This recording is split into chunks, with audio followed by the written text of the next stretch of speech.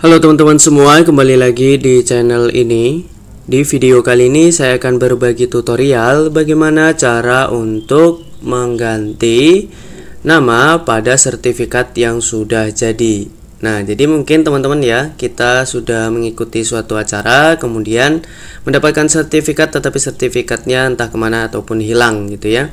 Nah, teman-teman bisa akali dengan mengganti punya orang lain ya, hanya mengganti nama. Untuk di tutorial kali ini saya akan bagikan mulai dari awal ya bagaimana cara untuk menghapus ya menghapus namanya supaya rapi ya dan juga bagaimana cara untuk mengetahui jenis font yang digunakan itu apa ya.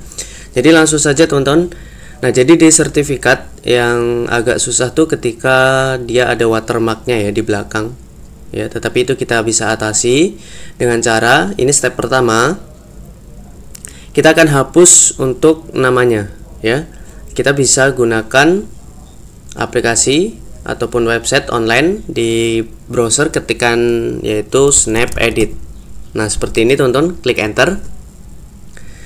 Oke selanjutnya teman-teman masuk saja ke websitenya Snap Edit. Tampilannya seperti ini teman-teman. Pilih unggah gambar. Oke, dan nantinya saya akan menggunakan Photoshop ya teman-teman untuk e, mengganti namanya. Untuk yang lain teman-teman bisa sesuaikan saja. Kemudian saya masukkan untuk uh, sertifikatnya tadi. Nah ini, klik pilih open. Oke, pilih di bagian sikat bukan yang mobile. Ini untuk ukurannya bisa tonton sesuaikan. Ya, kita kecilkan. Ini supaya lebih enak tonton bisa zoom, zoom out ya. Nih, menggunakan mouse lebih enaknya. Baru teman-teman uh, sikatkan atau uh, dihapus seperti ini teman-teman diusap lah ya. Nah seperti ini. Terus sampai teksnya tertutupi teman-teman. Oke kalau sudah tertutup semua ya pastikan rapi tidak menyentuh garis yang lain. Teman-teman langsung klik menghapus. Nah hilangkan ya teman-teman. Nah kalau sudah seperti ini selanjutnya teman-teman download gambarnya. Dengan cara klik unduh pilih yang paling medium karena yang besar itu uh, berbayar ya. Kita klik medium nanti uh, muncul seperti ini tonton tunggu. Nah sambil menunggu ini untuk mengetahui jenis font yang digunakan pada sertifikat teman-teman uh, klik unduh dulu ya. Unduh HD nah kita letakkan di sini.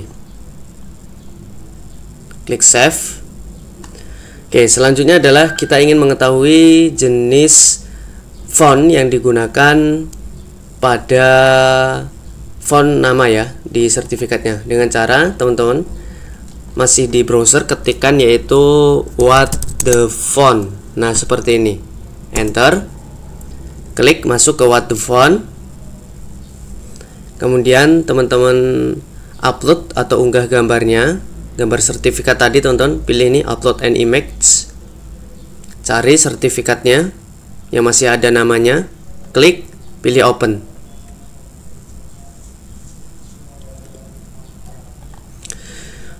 oke tunggu prosesnya Nah, kalau sudah seperti ini, dia akan mendetek per bagian part-part untuk font. Teman-teman cukup klik di bagian nama, klik seperti ini. Nah, kemudian sudah terseleksi tinggal tarik ke kanan tarik ke kanan mentok oke kalau sudah seperti ini tonton klik di sini uh, identify font tunggu prosesnya nanti secara otomatis dia akan mengetahui nama atau jenis fontnya Oke, seperti ini. Tinggal teman-teman sesuaikan karena ini rekomendasi ya. Disesuaikan yang paling benar-benar uh, mirip gitu ya. Oke, kalau sudah seperti ini, selanjutnya cara downloadnya bagaimana? Cara downloadnya seperti ini. Blok aja nama fontnya, klik kanan, pilih salin. Karena di sini berbayar ya kalau ingin mendapatkan fontnya. Kita beralih ke tab lain, ketikkan download, ya, yaitu download font. Tinggal paste aja nama dari font tadi, tempel. Klik enter. Nanti teman-teman tinggal cari nih, klik saja. Nah, seperti ini, klik download.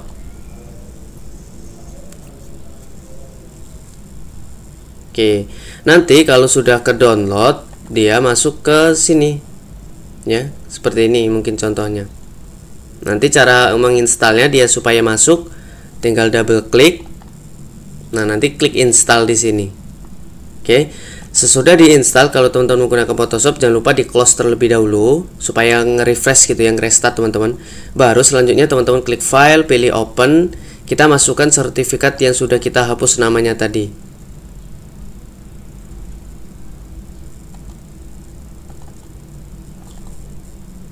Oke, mana tadi? Nah, ini klik pilih open. Baru kita tambahkan teksnya dengan memilih font yang sudah kita download dan kita install tadi. Oke.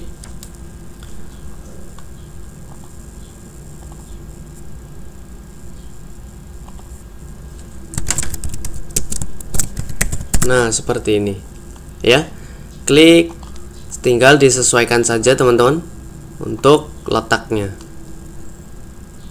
oke kalau teman-teman bingung tinggal uh, disesuaikan saja ya dengan aslinya kurang lebih seperti ini jadi seperti itulah teman-teman tinggal nanti di sininya save as rubah menjadi JPEG ya tinggal disimpan oke. Oke teman-teman, mungkin itu saja yang dapat saya bagikan di tutorial kali ini. Semoga bermanfaat untuk teman-teman semua. Ya, jangan lupa untuk like, komen, dan subscribe-nya. Oh iya, bagi teman-teman yang membutuhkan bantuan ataupun jasa untuk merubah nama sertifikat bisa hubungi nomor di deskripsi. Oke, sampai jumpa di pertemuan kita selanjutnya.